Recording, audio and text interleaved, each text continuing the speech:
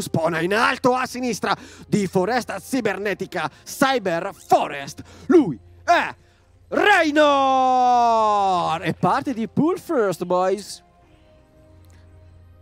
Mentre forse nell'altro angolo dal team Stark, figlio illegittimo, abbiamo Gianni Neve! Legit, giusto.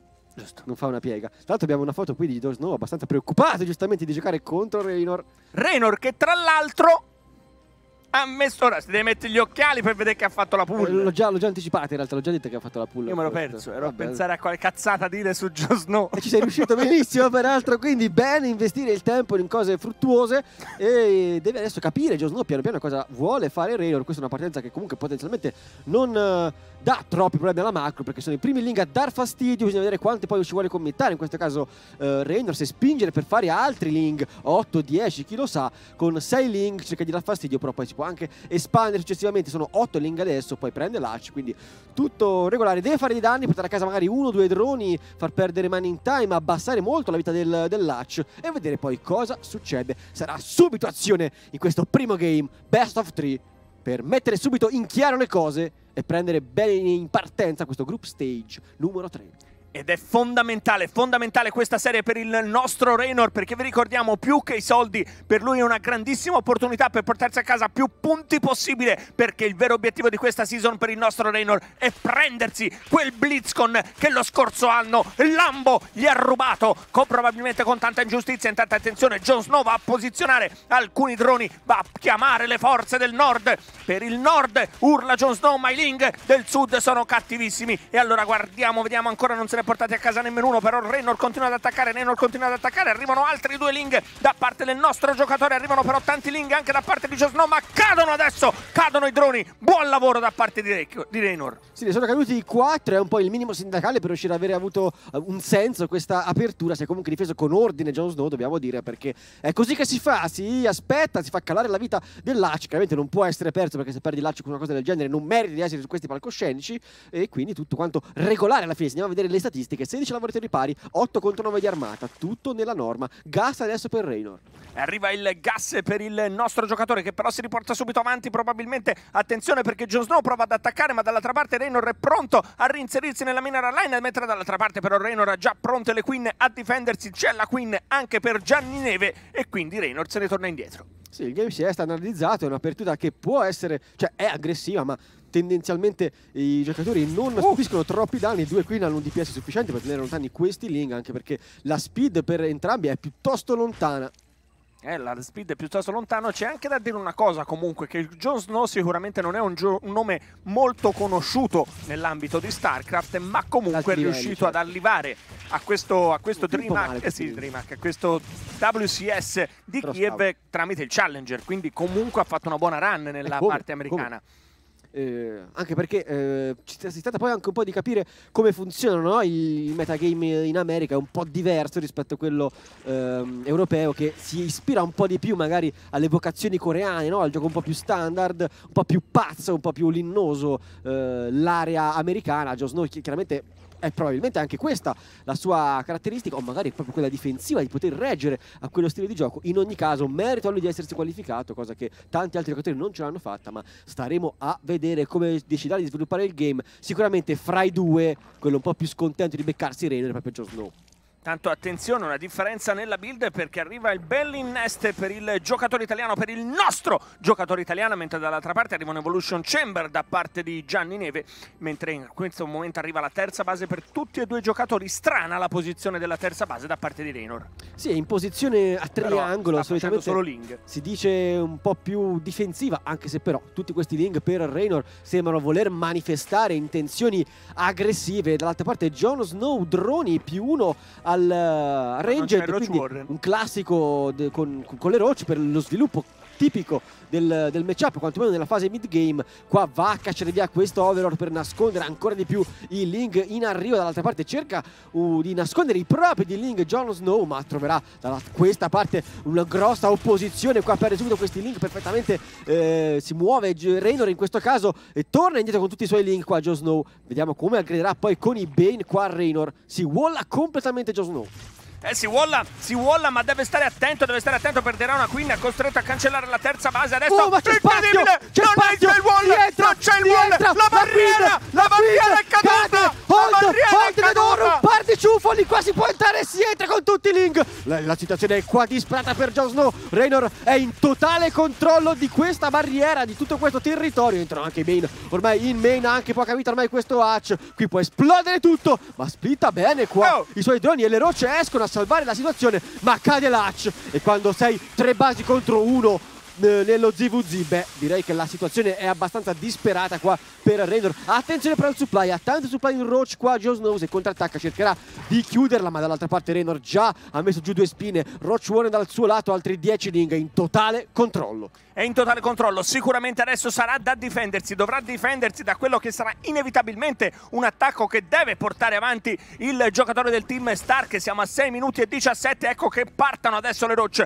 partono le rocce, sono un buon numero quelle rocce, ancora Raynor non ha il Roach Warren terminato e avrà anche il più uno all'attacco. Allora, sostanzialmente è chiaro che il vantaggio di Raynor è enorme, 52 lavoratori contro 30, però ci sono solamente linghe, ma adesso stanno uscendo 12 rocce.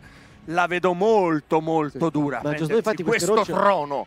Queste, queste, queste rocce sono assolutamente solo per difesa in realtà da parte di Snow perché sapeva che senza la speed sarebbe arrivato troppo tardi con questo push e quindi immaginava già una buona difesa da parte di Raynor e quindi si rimbocca le maniche cioè da remare come un disperato come se fosse controcorrente per riuscire a mettere su la sua terza base met- riprendere un po' di economia produrre e difendersi ma Raynor non sembra proprio intenzionato a lasciare il tempo a Snow di respirare si muove già in attacco Raynor l'italiano che cerca di vincere tutto E avanzano, avanzano come un trenino le rocce della parte di Raynor. Ancora non mi sembra che abbiano la speed, ma sono veramente un numero molto molto importante. Guardate la differenza di Psi, guardate la differenza sul numero di lavoratori, guardate come cadrà probabilmente quel Roach Warren, segnando sostanzialmente la fine del povero Jon Snow che mentre provava a Oh, difendersi dall'altra parte sono arrivate un'infinità di link sulla base del povero Jon Snow che in questo momento è costretto di nuovo a cancellarla, ma sarà costretto a cancellare tutto. GG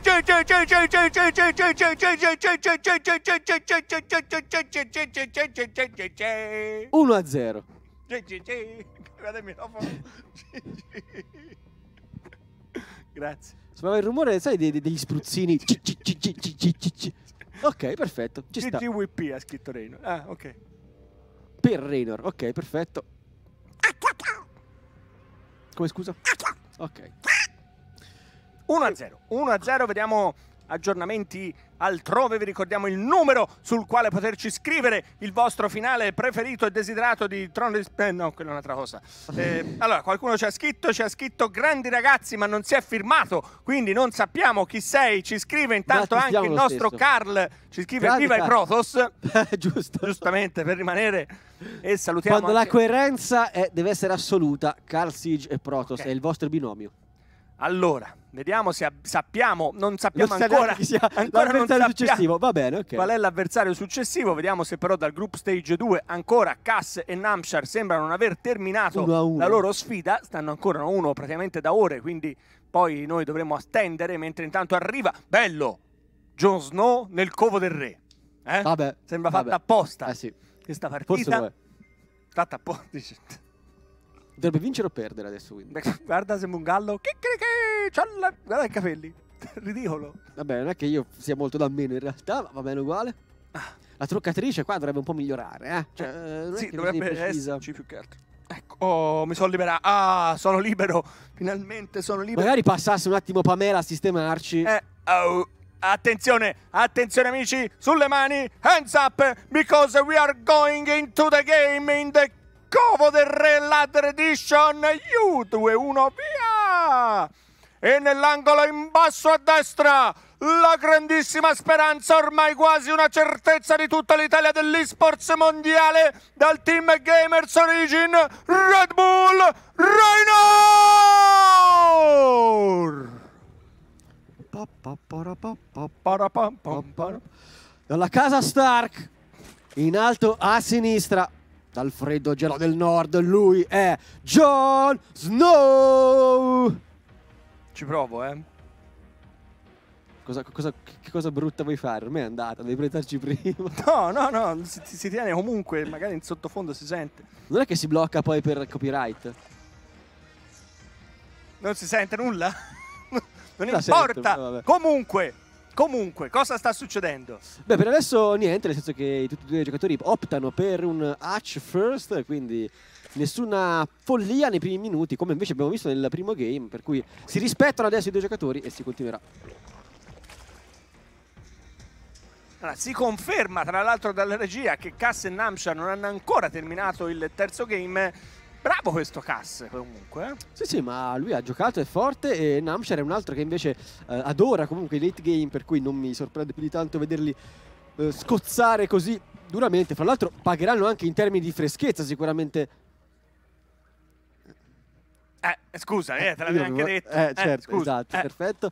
Ehm, dicevo che si pagherà in termini di stanchezza comunque un game così lungo, una serie così ehm, complicata, quindi anche se vinci poi rimettersi a combattere subito dopo potrebbe essere complicato per chi vincerà fra Cass e Namshar. Un minuto e 55 in questo secondo game qui tra Raynor e Jon Snow. Vedremo quello che accadrà. Entrambi i giocatori hanno optato in questo caso per una build molto Ancora molto link per classica. Però arriva infatti qualche link in più per il giocatore italiano. Probabilmente sa di essere più forte in qualche modo del suo avversario, vuole tenerlo sotto pressione, vuole metterlo in difficoltà probabilmente più da un punto di vista psicologico che da quello che può essere il danno sostanzialmente che possano fare sei linghe, oltretutto in una mappa così ampia. Sì, diciamo che sappiamo qua la specialità di Raynor è la velocità di esecuzione, no? quello che eh, riesce a essere sempre presente sulla mappa, costante, macro, comunque solida, che cresce sempre di più, ma poi attivissimo su tutti, su tutti i fronti. Credo voglia anche testare proprio il multitasking di Jason in questo caso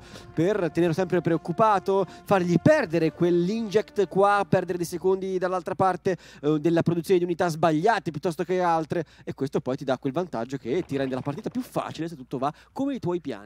E attenzione però perché le build sostanzialmente sono molto simili, anche se con timing eh, diversi anche Jon Snow ha deciso di far passare quei link molto molto larghi, adesso si incontreranno tra l'altro tra di sé, bravissimo il giocatore.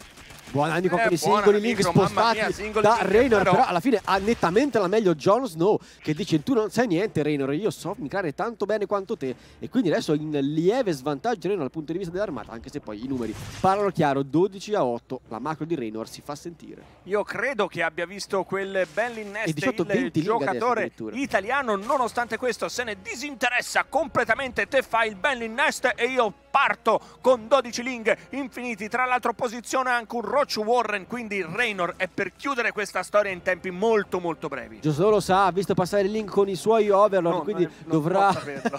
Non Eh, può saperlo. L'ho visto, l'ho visto, quindi deve saperlo, deve anche quindi architettare una difesa. Se Questa terza base è un- complicata da tenere, ma dovrà cercare di farlo qua il giocatore in blu. Qui ci sono anche due Bane, serve una micro fantastica anche da parte di Raynor. Uh, che pericolo con questi Ma con Raynor non ha paura dei paneling. No, no, no, no, se- Buh, ha perso due, due, due, due, due droni lì. Di là, di là sta perché sta facendo un rambai, un rambai natural, sempre presente, Raynor diciamo Quattro 4 droni droni. uccisi, così senza colpo ferire. È un'ottima notizia qua per il giocatore in rosso, sempre in vantaggio di supply, ma eh, la tech da- parla in favore di Jon Snow perché è difficile sfondare a questo punto per quanto tu possa essere più abile.